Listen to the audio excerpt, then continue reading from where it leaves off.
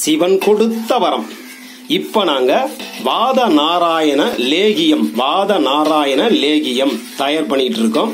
அதுக்கு தேவையான பொருள் வந்து வாத நாராயணன் வாதரசு வாத மடக்கி என்று சொல்லக்கூடிய மரத்தின் இலை சாறு ஒரு லிட்டர் ஆமணக்கு எண்ணெய் ஒரு லிட்டர் சுக்கு மிளகு திப்பிலி வகைக்கு நாற்பது கிராம் வெண்கடுகு பத்து கிராம் பூண்டு இருநூறு கிராம். இவைகளை பொடி செய்து ஒன்றாக கலர்ந்து ஒரு நாலஞ்சு மணி நேரம் சிம்மில் நல்லா தொழவின்னு வந்தோம்னா நீர் சுண்ட வந்துடும் அதுக்கப்புறம் இதை ஆற வச்சு அந்த வடிகட்டி எடுத்து வச்சுக்கிட்டு நரம்பு தளர்ச்சி கை வலி கால் வலி முட்டி வலி மூட்டு வலி குனிஞ்சா நிமிர முடியல நிமிந்தா குனிய முடியல அப்படின்னு சொல்ல அப்படின்னு இருக்கக்கூடிய உடல் உபாதைகளுக்கு நரம்பு தளர்ச்சி கை நடுங்குது கால் நடுங்குது முட்டி நடுங்குது என்ற சொல்லக்கூடிய உபாதைகளுக்கு இந்த லேகியம் அவரவர் உடல் தன்மைக்கு ஏற்ப ரெண்டு ஸ்பூன் ஒன்றரை ஸ்பூன் ஒரு ஸ்பூன் அளவுக்கு தொடர்ந்து சாப்பிட்டுக்கிட்டு வந்தோம்னா அரை மணி நேரத்துல நமக்கு பேதியாகும்.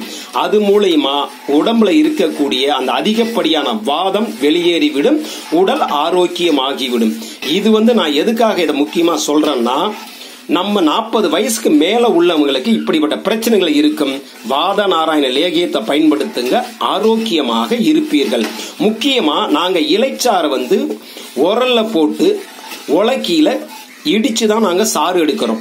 அது அப்படி இடிச்சு சாறு எடுக்கும் போது நம்ம கை அதை வந்து வலுவா பிடிச்சி குத்தும் போது நம்ம உடம்புக்கு வேண்டிய அக்கு பஞ்சர் முறையும் நமக்கு ஒரு மருத்துவ முறையாக கிடைக்குது. இப்ப என்னன்னா நம்ம முன்னோர்கள் எல்லாருமே மம்மட்டி அருவா கல்கட்டு உரலு உலக்க அம்மிக்கல்லு இப்படி வேலை செய்து வேலை செய்ததால அவங்களுக்கு இயற்கையாகவே உடம்புக்கு வேண்டிய அக்கு பஞ்சர் மருத்துவம் கிடைத்தது. அதை நாம் தவற விட்டு விட்டோம். முடிந்த அளவு நீங்க மிக்சியில போறதெல்லாம் விட்டுட்டு உரல்ல போட்டு இடிக்கணும் அம்மியில அரைக்கணும்.